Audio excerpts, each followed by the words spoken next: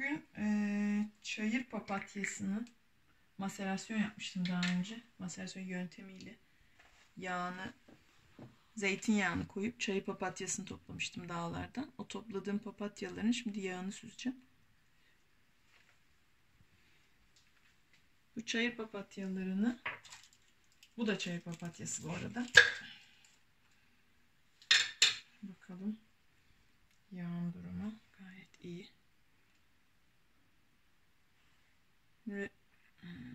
biraz bekleyelim. Altına geçsin çünkü biraz fazla oldu.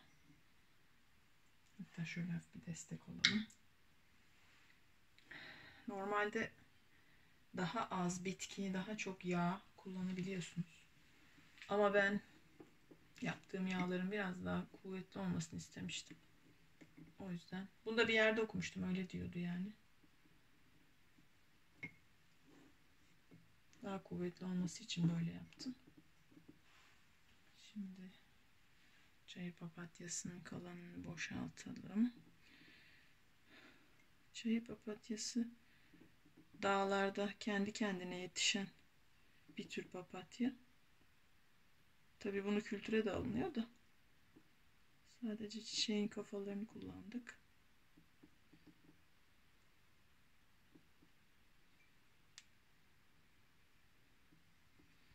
Bir Mayıs'ta bu yağı yapmıştım. Bugün 30 Mayıs. Yani bir ay boyunca bekledi 4 hafta. 4-6 hafta diyor. Ben bunları 4 haftanın ilk 3 haftası zaten çok kuvvetli bir güneşte bekletmiştim. O hava çok sıcaktı yeterli olduğunu düşündüm açıkçası. Şimdi bunu biraz sıkacağım. Bitkide kalan yağı çıkartmak için. Daha önce gördüyseniz biliyorsunuzdur. Bu bezi de kaynatarak sterilize etmiştim. Bu kavanozları da aynı şekilde.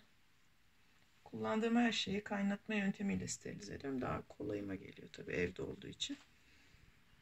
Başka yöntemler de mutlaka vardır. Bu ev yöntemi. Normal bir zeytinyağı ki bu zaten sızma zeytinyağı bu arada onu da söyleyeyim. Bu kadar koyu renkli olmaz ama papatyanın rengini almış. Sıktıkça bitkinin yağla birleştiği özü yağ geçiyor. Bakın daha önce dağ sümbülünü yaptığımızda yağda böyle morluklar olmuştu. Bunda da beyaz beyaz nokta nokta görünüyor. Biraz dışına da taşırmış olabilirim tabi. Bu kadar sakarlık olacak artık temizleriz orayı. Evet. Epey bir sıktım. Bence olmuştur artık bu. Bakayım. Tüm parmaklarım kirlenmesin demiştim ama kirlensin. Evet. Şimdi bunu koyu renkli bir kaba alacağım. İçine E vitamini ekleyeceğim. Doğal koruyucu olması için. Videoyu